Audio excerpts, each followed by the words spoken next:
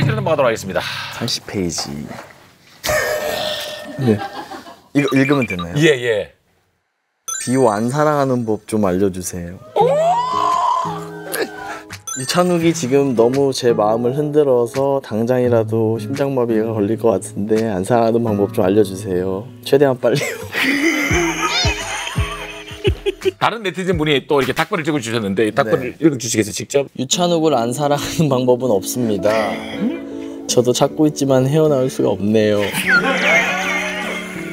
아, 누구죠? 어쩌, 어쩌지? 아, 아 누구죠? 어쩌, 어쩌지? 아, 아, 유창, 어, 어, 어, 어쩌지? 어, 자운디스타? 어, 어쩌지? 어, 어 별만 받아 보자. 어, 파운드래퍼? 어, 어, 어, 뭐 어쩌지? 감당이 안 진짜 이 심장, 이 심장마비 걸리면 큰일 나니까. 급하게 빨리 빨리 빨리 빨리 빨리 빨리 빨리 빨리 알려줘요. 안 사랑하는 법요. 제발 빨리요. 제발 알려줘봐요. 비요. 그분 지금 급해 빨리 알려줘야 돼요. 아, 그래도 한번 만나면 좀 괜찮지 않을까요? 그 실제 보면 진짜 진짜 밤이 오면. 아 그럼 안, 안 되겠네. 아니 머리 탑만 봐도 심장마비 그릴 것 같은데 실제로 보면 어 그러면은 제가 해, 해드릴 수 있는 게 없을 것 같아요. 이야 2022년 꼭 같이 먹고 싶은 연예인 떡국 같이 먹고 싶은 연예인. 설문조사를 했는데 이준호, 장문영, 뭐 아이유 씨도 계시고 비오 아저 제가 여기 있어요. 있, 여기 찾아 있잖아 여기 딱 찾아 찾아오고 있잖아 딱. 어. 어 떡국 좋아해요? 어 좋아요. 완전 좋아요. 몇 그릇까지 먹어요 한 번 먹을 때? 많이 먹으면 두 그릇. 오. 다 음에 기회 되면 그 아까 심장마비 그분이랑 떡국 같이 먹으면 되겠다. 어 좋아요. 어, 2023년 떡국. 네네. 예. 연락 주세요 꼭. 아, 진짜 떡국 먹는 거예요? 네네 연락 주시면 2023년 설날에 꼭 떡국 같이 먹어요. L A H E 땡땡땡땡님. 이야.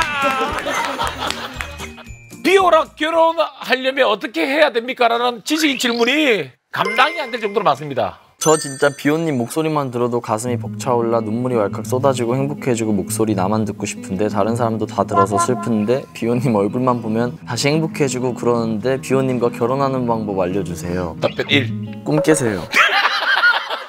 답변 2. 유부남이라 생각하시고 포기하세요. 답변 3. 결혼할 남편 이름을 비오라고 개명시키세요. 어백!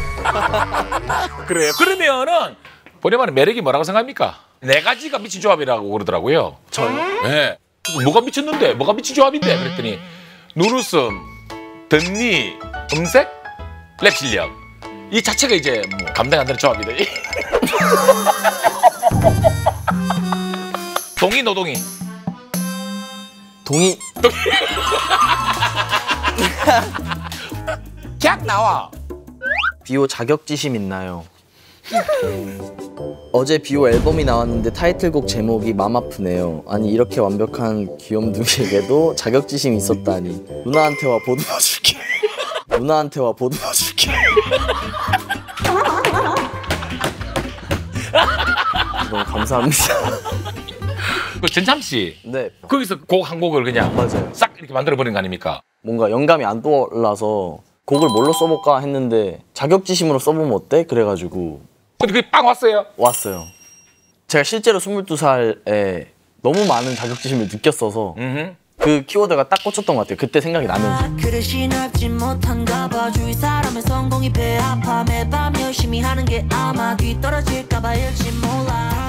리얼로 그 20분이 안 되는 시간에 네, 20분 정도.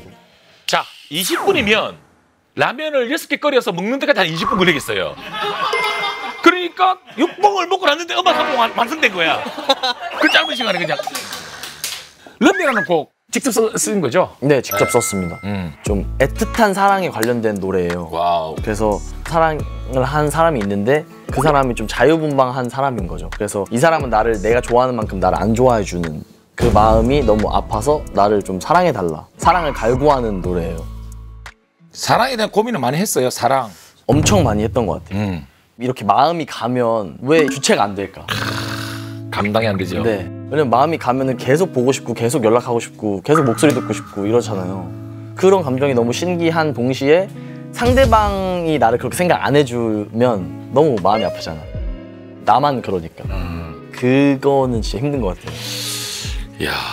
왜 사랑은 어긋나는 걸까요? 어 왠지는 잘 모르겠는데 그냥 세상에 엄청 많은 사람들 있잖아요. 근데 딱 두 명이 동시에 마음이 통한다는 게 엄청 어려운 일인 것 같아요. 그래서 이렇게? 이렇게?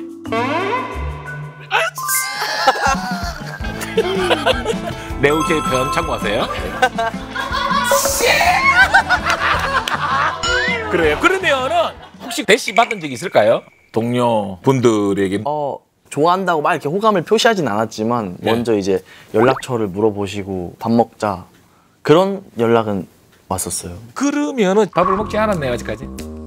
네, 먹지 않았습니다. 언제쯤? 점심을 먹지 저녁을 먹지요? 아침을 먹자는 거 아니죠? 그거까지 얘기 안 했고 그냥 식사를 하자고. 네.